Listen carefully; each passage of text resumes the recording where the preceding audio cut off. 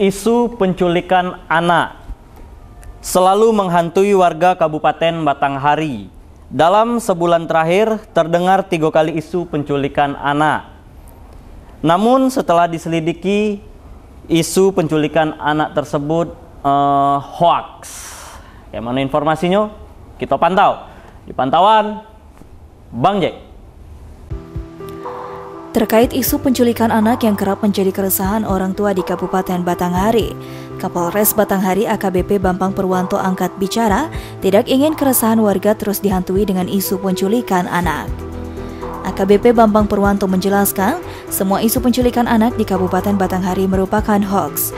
Kejadian saat ini terjadi di keramaian dibenarkan Kapolres, namun penculikan anak tidak ada. Isu penculikan anak ini ramai menjadi perbincangan akibat warga yang tidak bijak dalam menggunakan media sosial. Belum menerima data yang baik dan belum diketahui kebenarannya langsung disebarluaskan dengan tagline penculikan anak sehingga memicu keresahan warga. Kapolres juga menghimbau kepada warga Batanghari agar dapat bijak dalam menggunakan media sosial karena salah memberikan informasi dapat menjadikan keresahan warga dan menimbulkan kamtipmas yang tidak kondusif.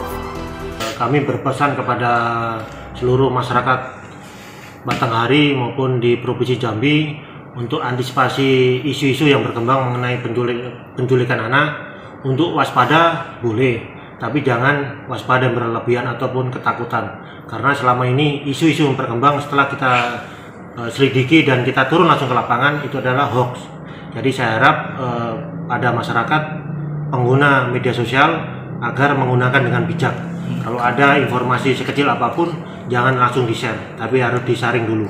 Kalau perlu, langsung menghubungi Polres maupun Polsek tempat yang ada di uh, tempat kejadian. Supaya setelah penyelidikan kita uh, di Polres Batanghari ini ada tiga, yaitu per pertama pertama sekali kan di Pemayung yang orang tua membawa anaknya tetapi tidak ngomong ke kakeknya. Langsung hmm. dibawa saja kan. Kakeknya melapor ada penculikan padahal yang bawa adalah uh, orang tuanya sendiri. Itu yang kedua uh, orang dengan gangguan jiwa kan ada di Bulian. Selain itu Kapolres juga menjelaskan mengenai isu penculikan anak merupakan hoax semua. Kejadian di Pemayung merupakan miskomunikasi.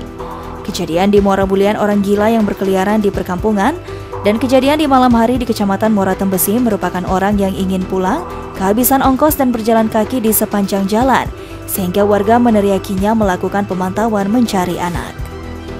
Ditegaskannya bahwa semua hal tersebut tidak benar adanya penculikan anak. Namun walaupun demikian, orang tua tetap diminta waspada dan tidak lengah dalam melakukan pengawasan anak. Selamat Riyadi, Cek TV, melaporkan.